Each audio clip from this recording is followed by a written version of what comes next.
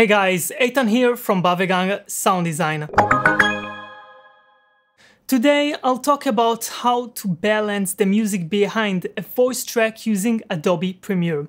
We'll talk about enhancing the voice track, editing the volume of the music manually using keyframes, and automatically using the Essential Panel tool.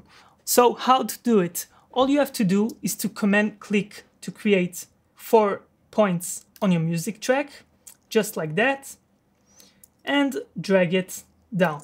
This will decrease the volume of the music, which will make your voice more clear. The automatic way is to select your voice track, go to the audio tab and assign the dialog section to the audio clip, click your music, click music, activate ducking, and click generate keyframes. Ta-da!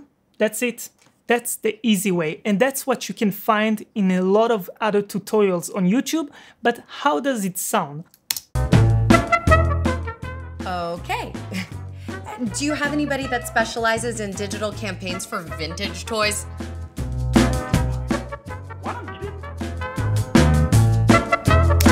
It's better than nothing, but from a sound designer point of view, the music here drops much sooner than needed, comes back up too late, which sound very unprofessional. The point of ducking the music is to create a seamless transition between the voice and the music.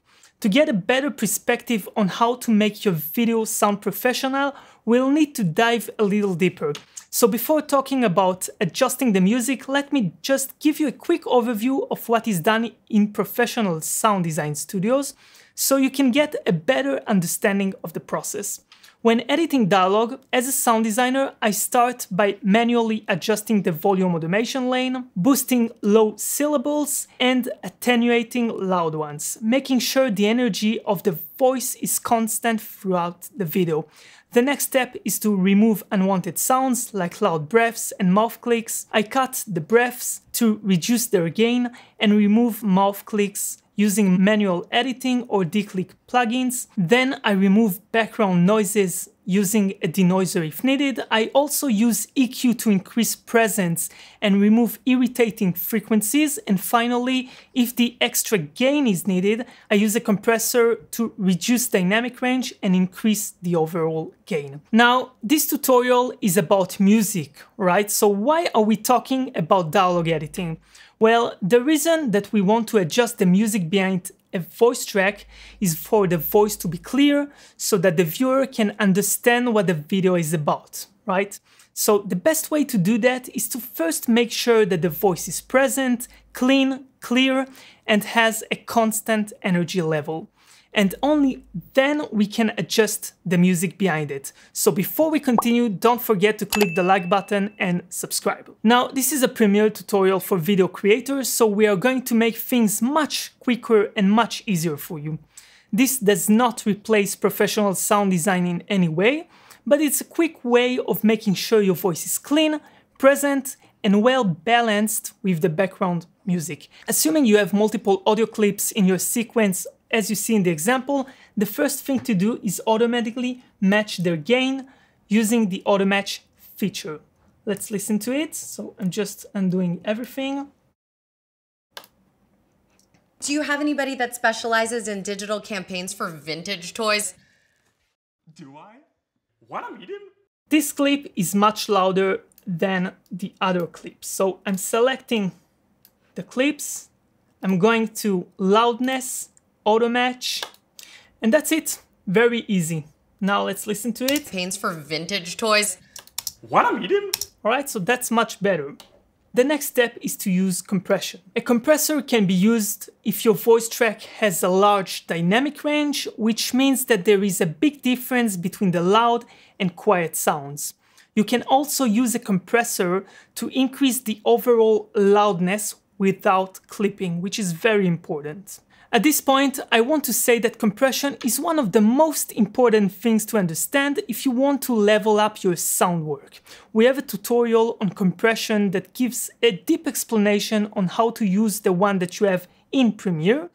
and also how to master other compressors that exists on the market. So check it out, just click the link in the description. For this video, as promised, we'll keep it short and simple. So just go to Clarity, activate Dynamics, and increase the effects. Let's listen to it. Have anybody that specializes in digital campaigns for vintage toys? Do I? Wanna meet him?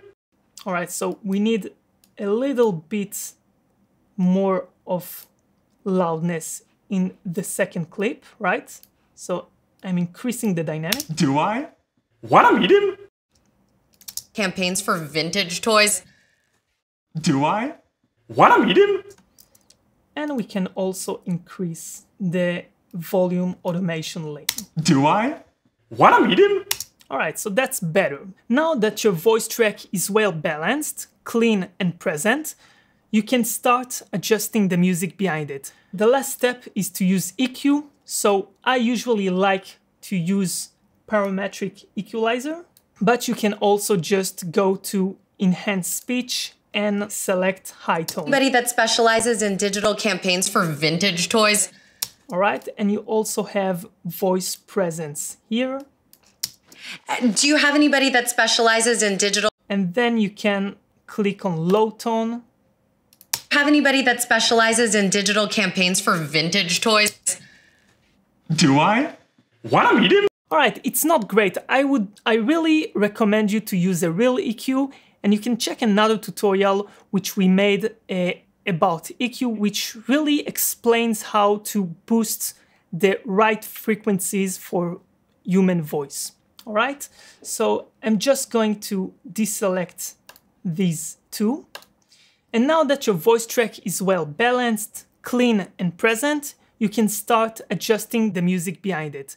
As I showed in the beginning of the video, you have two ways of doing this, manually and automatically. First of all, enlarge your music track, command click the volume lane where the sentence starts, create four points, now simply drag it down. You have to use your ears to know how much to decrease. I'll give you a little tip. When the speech starts, do a quick ducking of the volume, meaning that the slope is quite sharp and the ducking is fast. At the end of the sentence, do a slower return. Digital campaigns for vintage toys? Vintage toys? Do I?